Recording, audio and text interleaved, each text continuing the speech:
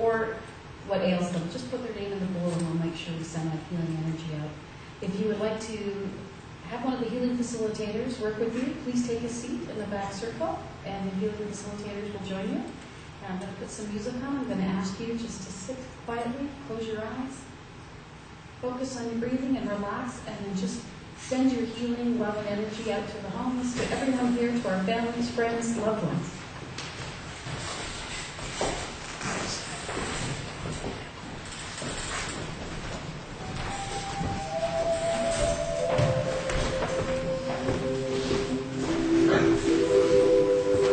Comfortable position and take your thoughts inward and upward to a little spot in the universe where God resides and healing begins. Allow the energy to move through the tips of your toes, moving upwards, swirling round and round the body it to come up through the top of the head and flow the body like a gentle summer rain. As you breathe in again, feel the energy bringing alive all the cells in the body that work together with all of the organs. And allow those organs to be like a wonderful symphony concert orchestra that play their instruments independently, but they play with such harmony and such rhythm that they are working for the whole beauty of the piece they are playing. And as you breathe the energy in and revitalize all of the energies in the body, in the cells, in the organs, know that you are doing that to bring healing to the whole. And as the energy comes in again through the tips of the toes, allow it to expand into the mind.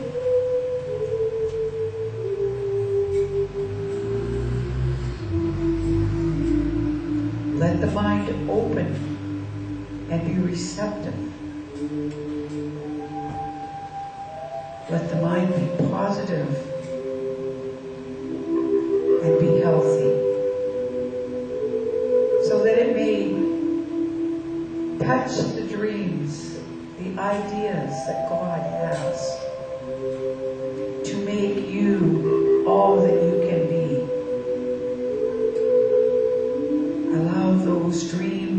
those thoughts, those energies to come through the mind to healthy growth so that they will grow and produce the dream that God has for you.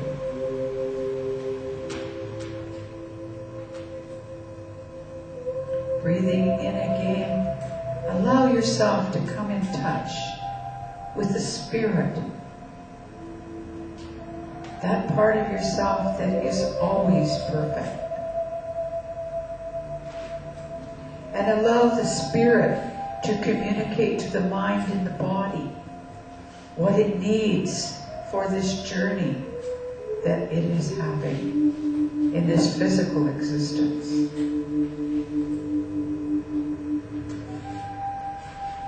And as you have healed your own self, body, mind, spirit, be like a pebble in a great pond of energy and allow your energy to move forward and ripple outward and let it touch each member in the room. And joining together, allowing the energy to draw through everyone facilitate the healing.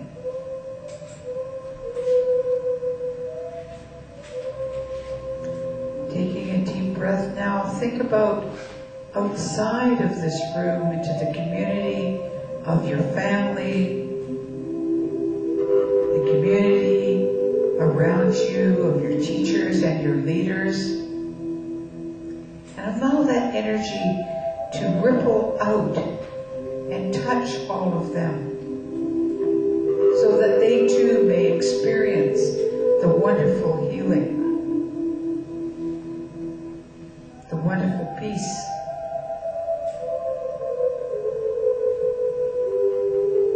Allow that energy now to go forward into the world and not only touch the world's leaders, but to touch the animals, the vegetation, the waters, the atmosphere, so that they may be healed. And let us be thankful to the animals and the vegetation and the minerals that give of themselves and serve us so greatly and feed us so well.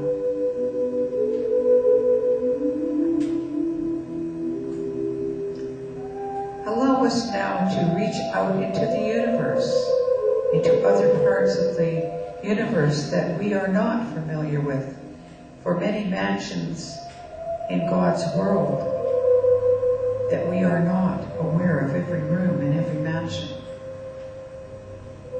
But we send love and we send caring. For God promises us that love and healing is never ending. And all we need to do is ask and the energy will follow the intention of the thought, and the healing will begin.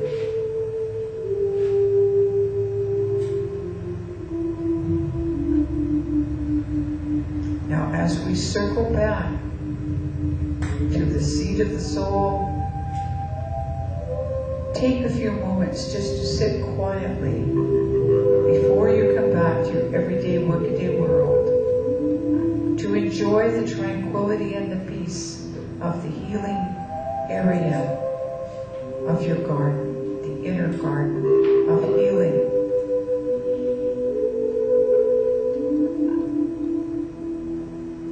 And know that you may visit here at any time. And God has promised the love and the healing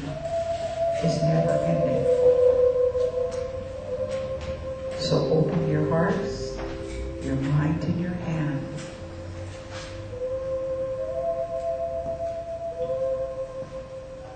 God bless you, and He sends His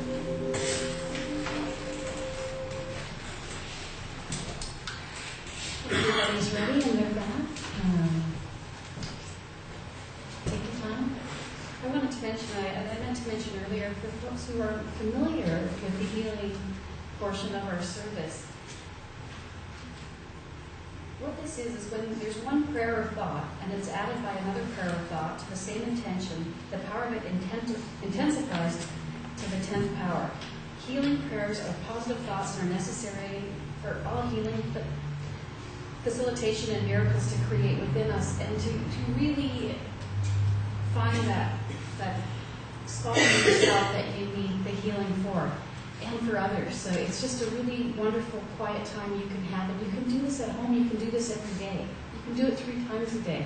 And it's a really nice way to get yourself grounded, balanced, and just send that love and light out to all those you know. Right now, we're going to go into our announcements. And uh, then